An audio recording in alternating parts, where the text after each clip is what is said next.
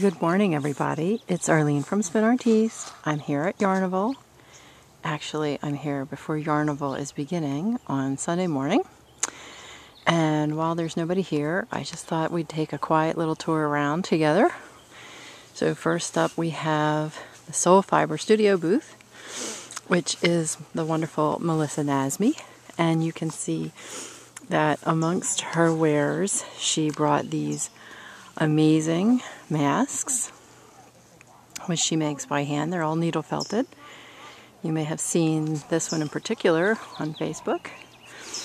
And she's got some bats, and she's got some other wearables over here. Uh, neckwear, some purses, some other felted pieces. So really quite incredible. So that's Melissa Nasby of Soul Fiber. And then next to her is uh, Jenny Biscuit's area. And she's got some great, amazing yarns. She's got some Japanese products for clay making objects. And she also has the wonderful Yarnival I did buy a t-shirt with the really fun logo, Yarnival logo.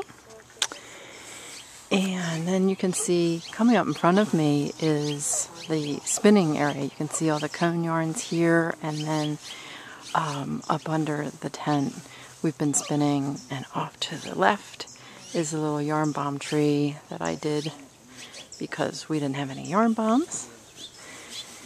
So up here we've got um, the Jazz Turtle Creations booth. And Elizabeth Stadelmeyer of Hobblyhoy is also in here. And that's Elizabeth back there. Hi, Elizabeth. and you can see all the wonderful yarns, Jazz Turtle yarns, and the bats Elizabeth made. Really amazing stuff. And right next door is Picasso Moon and Wheel Star. And there's Deb's beautiful bags that we all love so much. And some wearables. And more purses.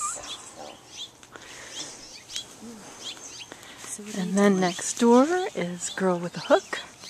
One of my very most favorites, Heather Lightbody. And the incredible hats. She freeform crochets and also sharing her booth is Boho um, Knitter Chic and her amazing, gorgeous yarns. And she's been spinning a lot while she's here, which is really nice because the attendees really like to see that. Like to see the artist in action. And let's see. Oh, this is Oscar and Sophia, Lisa McKenzie, and her gorgeous fiber of her amazing yarns. Look how thick that is. So great. Want them all. Too many yarns to, to buy. Suitcase can only hold 50 pounds. And it was 50 pounds on the way out, so I don't have a lot of room. Then we get into Rose Nectar Fiber, Nicole Constantine. And she's got some really incredible stuff too. Beautiful yarns, of course. And Nicole setting up back there.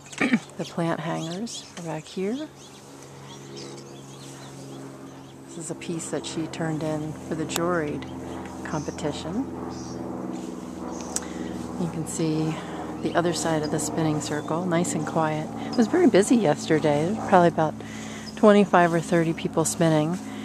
Uh, now we've got Hogue Wildfire, which I think up until this morning I have always been mispronouncing. Um, and Marcella is doing really well. She's sold a lot of yarns, and she's got some hand painted braid back here. And she said yesterday she just had a great day. We're very happy for her. And then we've got uh, Twisted Sunshine Designs Um, you can see more painted braids, some fibers, and you can see now the way that they have the vendor set up. We're actually in the um, orchard, so the winery vines are off to our right. Um, there's actually a lavender vendor here. She's not here yet. This is a booth called Sincere Sheep. Naturally beautiful yarns and fibers. I would agree. This is a little bit more on the traditional side. Some bags. And then off over there is, uh, not getting a good shot right at the moment, but you can see there are a few goats back there. So the kids have been enjoying that. And out on the other side of the spinning circle, we've had really a good time with, uh, there's several spinners over here from Japan. And they're actually out uh, garage sailing this morning. So that ought to be interesting to see what they come back with.